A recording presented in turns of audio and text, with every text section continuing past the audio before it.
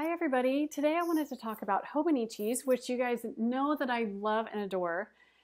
And in case you haven't seen any of my other videos, I've had Hobonichi accessories for several years, but last year, meaning September 1st, 2015, when they come out with their new line for the next year, that's the first time I actually bought the Hobonichi planners. And I went a little crazy because I had never used one of their planners. I didn't know what would work for me or what I would like. And so I wanted to try all of them because I at least for sure don't know what I like. I kind of I try and make the best decisions, but I don't really know what I like until I'm actually starting to use something and holding it in my hands. So if you saw my unboxing and I've done videos on how I've used all of them, this is kind of a wrap up to all of that, how I actually use them, if they worked for me, if they didn't work, and kind of just my overall opinion now that we're towards the end of the year. I did try and use all of these, and I'll show you that some worked better than others. And then moving forward, taking that information for 2017 on what I am going to be using for the next year. So let's go ahead and start with the A6. This this pile, which is quite large. And then this is the weekly booklet. I do have a video on at least one on how I use this. So this is the A6 booklet, and this is, as you can see, it's marked weekly, which is their answer to the A6 because as you know, it just has the months and the days in there. So in case you're looking for a weekly spread, as you can see, and you probably know that it's a little bit smaller so it will fit into your cover and the back, front, wherever you want it. And so I used this initially as a food tracker and kind of, you know, my water tracker. So that's what kind of what that looked like in there. I gave myself a sticker for if I did a good job for the day. And then I switched and I started using it as kind of a budget and my money tracker as well, where I would just write down what I spent for the day and just things like that. I kept this in my wallet, so it was just in a pocket with my on the go planner. And it's, as you can see, it's very, very thin. It's a nice little booklet. But I would say I probably only use this, as you can um, see, probably for only about six or so months out of the year, so a little bit more than half. And I think ultimately it's a great idea. And a lot of us were really excited about this because we like the A6 size, but we want a week spread. And I think the Mambi Happy Planner kind of said it the best. So whenever you have a smaller size like this with their mini Happy Planner, they mention this. They tried really, really hard to make it work with a vertical layout. But in a size this small, the vertical, as you can see, the, the columns just get so tiny. I would say this is a little bit over an inch wide and I have very small handwriting. I like to write with very small pens, meaning like a 0.3 Japanese pen. And even I was finding that this was really, really tiny space to write in. And I think I'm not alone in that, where we, all really wanted it to work, but I think most of us are found that it was just way too small for that. So I kind of got frustrated with it, and I think that's ultimately why I stopped. Is it just it's just too small for this kind of spread? I think like the happy mini happy planner if they had a horizontal even though the the footprint doesn't change just that horizontal layout is just a much better footprint in this kind of a size so there's the weekly booklet and then this is my A6 English and I will show you I took it out of the front cover what I really, really love about the English is that it is marked with the year. So this is great for archiving. I don't really archive the majority of my planners because they're kind of just like, you know, nitty gritty, down and dirty type of planning, which I don't really care about. But I really had high hopes of archiving this because this was my gratitude journal. So I'm not going to be able to show you what I wrote because it's extremely personal. But this is just a perfect size for it. And I would write on average about five things that I was grateful for for the day. So obviously I wasn't writing like I'm glad I have two eyes that I can see. I was writing a lot more detail than that. So I was writing about situations and what I was grateful for about certain situations or somebody something that somebody said to me or about a specific person, something like that. So a lot more detailed than just a one kind of word thing that you're grateful for. And I really, really liked it. It was so effective, and I love going back and reading what I wrote. But life kind of happened about the middle of the year. I kind of hit the wall, and I talked about this in, in at least one of my other videos. But that's really why I stopped using this is because I got really overwhelmed and I had to go down to basics. And this was one of the casualties among, I would say, the majority of my planners. I think July is really when it kind of hit the wall. And I think I was only using maybe one planner at that time. So it does make me sad. I wish that I had had the full year. As you can see, I used this for about half the year up until the end of June. And I do wish that I had it because I just love that idea of having just a completed book and having just an entire year here and something that I would archive. But I am grateful, since this is my gratitude journal, I am grateful that I do have the six months that I have in here and I, I can still write for the rest of the year what I have left if I want to. But you know, I guess it's my perfectionistic tendencies. I just wish that everything I'd written like every single day. I really, really love this SACK cover, which is S-S-A-C-K if you're not familiar with that. I also have talked about this in some of my other videos. It's a silicone cover. I love the A6 colors, so I especially one of my favorite colors is this lighter blue. I wanted to buy an A5 cover, but I didn't like the colors. And so I was hoping that this next year they would have better colors, but unfortunately, they have discontinued this these silicone sack covers altogether. So that's really unfortunate. I was disappointed about that. But I really do like this cover. It just fits like a glove. And with the pen clip right here, I would just clip my, use the pen clip and clip it because obviously you're not gonna be able to fit a pen in there. But I just really liked the way that this felt and I really like the size of this. Then I ended up buying the A6 Avec. And I think since I did this, a lot of people have put their Avecs and a traveler's notebook, but I did this at the first of the year. So I've got four strings in here and I set this up as a home management planner. And it's really for those things like the, the things that only need to be done like every a few times a week or those seasonal things. So obviously this is like not do the dishes every day because we all have to do those every day, whether we want to those want to do that or not. But I needed something like this to keep track of all the things because I just forget if it's not organized and written down somewhere. So you can see it's it fits really nicely into my hand. It's a really nice size, but the stickers take up so much room and I did make a folder back here. I don't think I ever did a flip through or a video on this, so I'll do this really quickly. This is the Hobonichi photo insert. So it's just the big plastic pockets, the full size pockets, and as you can see, I just have a whole bunch of stickers relating to home in here. And so that was a really nice idea. I did use quite a bit. And then this is the card insert that they have with Hobonichi.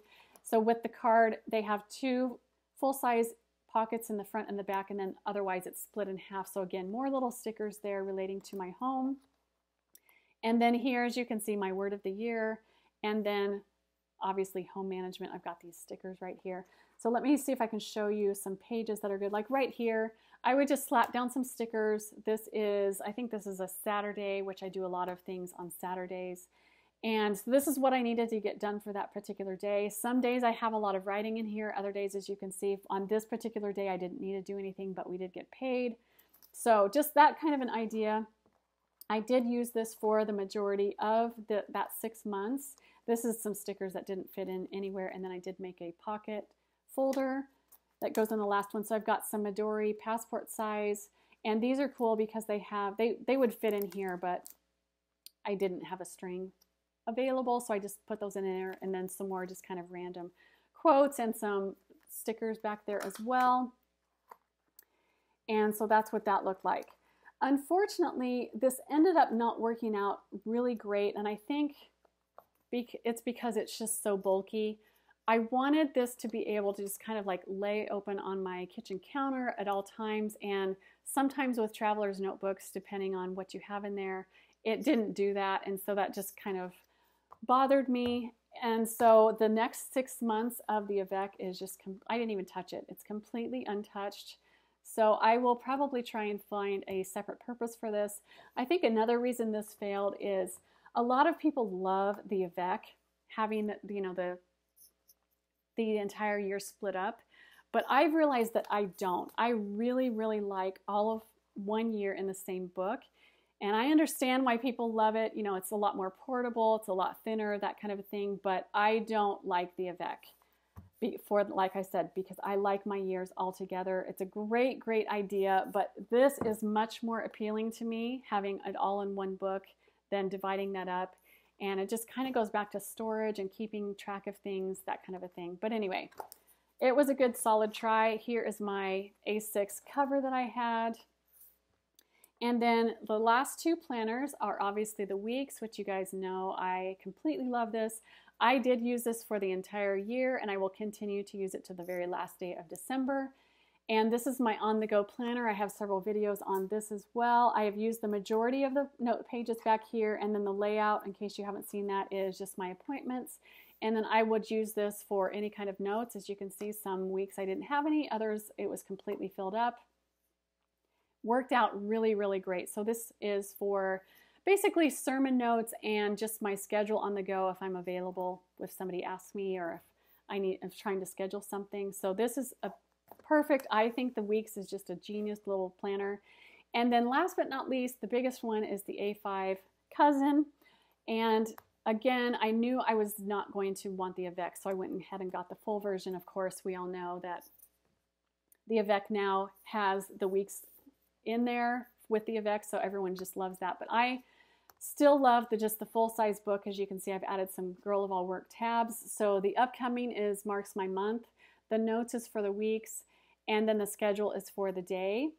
And I probably, unfortunately, only use this for about four out of the 12 months. There are a lot of reasons for that, and I think that this is going to warrant a completely separate video. But I really do love the A5 Cousin. This is probably, if I have to choose all of these, even, I mean, I love them all, so it's very difficult, but even between these two, which are probably the, my most used and my most favorite, I'm going to have to choose the cousin just because that's kind of my go-to size, the one that I'm most comfortable with, as well as the cousin has the month, the week, and the days in it, which is really what I'm all about. I'm all about the big picture as well as the details. So I just love that.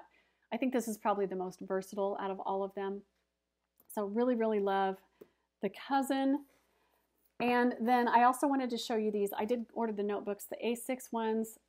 Honestly, did not even open these, so that was kind of sad about that. The the week's booklets, I think I ended up ordering three packs of these, so nine total with the different colors, the dark green, orange, and the turquoise.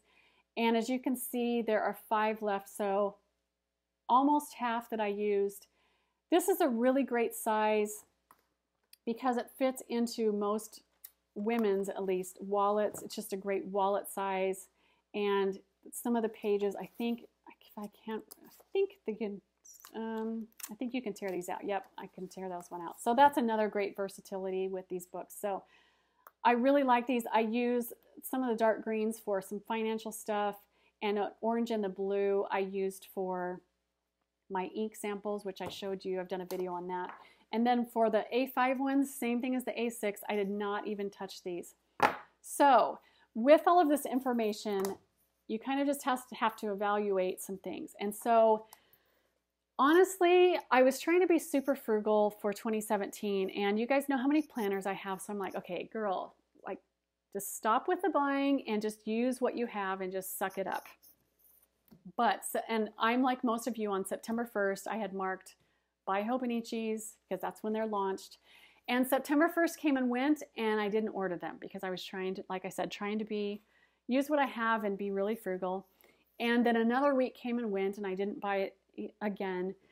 But as the weeks progressed, I found myself just getting, I don't want to say depressed, but I guess kind of a planner depression where I just got really sad thinking about 2017 and not having a single Hobonichi in my lineup.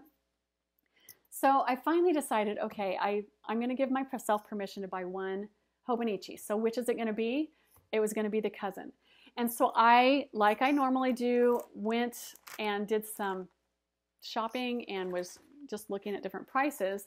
And so I went to my main sources, so JetPens, Amazon, and eBay. And JetPens and Amazon were about the same price. I think it was like $59 for the cousin, which is expensive, but you know, I wouldn't have to pay the exorbitant shipping costs coming from Japan from Hobonichi. But then I found a cousin from eBay and it was only $42. So I thought I'd hit the jackpot. And unfortunately, there was a there was a series of unfortunate events, let's just say that, and this is probably my one and only really negative experience with eBay. And I'm not going to say the seller or you know make general statements or anything. I think it was just they were ignorant. I think about Hobonichi as well as I don't think it was a language barrier at all, even though they didn't speak English very well. I don't think that was it. I had to explain to them the difference between the English and the Techo, and I also had to explain to them the difference between an A6 and an A5. And I think that that was probably the the really the only unacceptable experience that I had with this particular seller.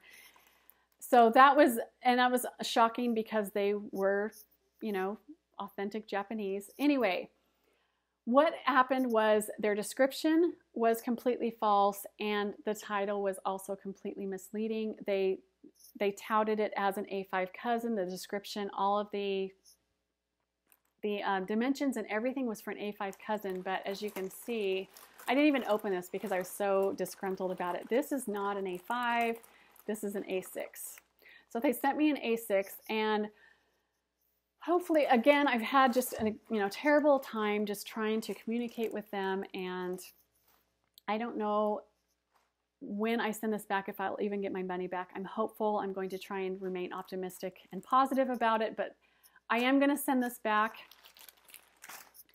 Then I was back to square one and I thought, okay, well, if I'm going to order from the Hobonichi website, obviously I need to make it worth my while because I didn't want an A6. so that was the problem with the eBay seller. I didn't want an A6. I, if I had to choose, I was going to choose a cousin, which I had here, and then also a Weeks. So I could have ordered these from Amazon and JetPens. And with the prices, I, I had a $100 budget. I had set that pretty much at the beginning of this year for Hobonichi. And so if I had ordered these two from those two sources, this is all I would have gotten.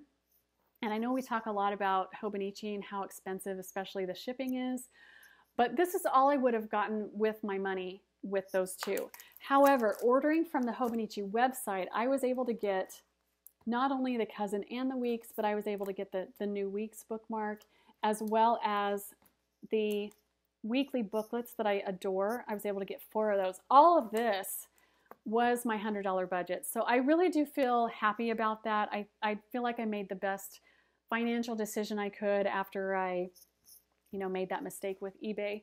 So anyway, here is my cousin for 2017 and comparing this to 2016. My number one concern was if it was going to be damaged like my 2016 one. As you can see, the 2017 is completely perfect. So I am super happy about that. I will do a complete setup video and how I'm going to be using this for 2017 later. But I was wondering if they would keep the numbers and or the colors for the months the same and they did. So that was cool. And then another, let me talk about the weeks first. So if you guys know me, these are my two favorite colors last year for 2016, I don't think they had the red because I think I probably would have chosen that. But for 2016, I chose this gorgeous blue. And so for 2017, I got the red because this is just my two favorite colors. I mean, I could just probably stop the video here and just admire these. But anyway, so kind of some interesting differences. Mainly, I think the insides are all the same, but as you can see, 2016 is a lot more noticeable than the 2017. I do like this better. And then also with the cover, completely different feel. I These are both the basic ones, so these are not, you know, the obviously the decorative ones or special fabric covers or anything like that. So this one for 2016 is very much a kind of a rougher feel, the, the fabric kind of linen type of feel. And then for 2017, it's just interesting that it's more just the plastic feel. It's, it's completely different feel. So anyway, that's just something I've noticed off the bat. You can see with my 2016, it's so beat up. I mean, I probably made this stain in the first week or two that I started using it. So here's what those look like with my 2016. I didn't, I did put a few stickers in there at the beginning, but after that it was just pure writing. I just kind of think it's interesting to look at brand new planners versus, you know, the ones that are well loved and well used. So that's what those look like there. So I'm really, really excited to use my one for 2017. I If you followed me on Instagram, you know that I'm not using this for my on-the-go planner. So again, this is going to be a separate video on how I'm going to be using that one. And then with my notebooks, I took these out. So like I said, they changed up the colors and I'm assuming that they do that every single year. So these were last year's, which are fine. But look at this. 2017, if you want to describe my planning and my planners and my supplies in a nutshell, it's these three colors. The nice dark true red, this beautiful kind of like turquoise robin egg blue, and then this chocolate brown. So because I knew that I was going to be using, or I love to use the Weeks notebooks so much, as well as because they were my three all-time favorite colors, I went ahead and ordered four packs of those. So I'm really, really excited about that. And then last but not least, the new week's bookmark. This is super, super flimsy. I'm not sure how much it's going to stand up to wear and tear. I don't think it's going to be very durable. With the weeks, as you know, you only get two bookmarks, and I usually keep one in my current week, and then I keep one with my the current next note page. So I think I'm going to end up keeping this one, the stencil, to mark my month. And I am not going to, we all know that the week starts in December, but I am not going to be starting mine. I am going to go ahead and use my 2017 all the way to the end. So I'm just going to keep it, I think, in January. We'll see how that works out. Otherwise, I'll keep it in the back with the pocket that they send. So anyway, those are my decisions and how 26 worked out for me. I hope this has been a helpful kind of thought process video for you. I know I like to watch these kinds of things on how people make their decisions. But anyway, thanks for watching and I will talk to you guys again soon.